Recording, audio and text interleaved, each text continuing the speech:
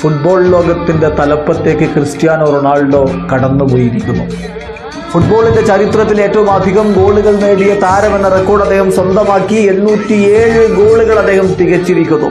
ഫുട്ബോളിന്റെ രാജാവായി അദ്ദേഹം ഇപ്പോൾ കനകസിംഹാസനത്തിൽ കയറിയിരിക്കുക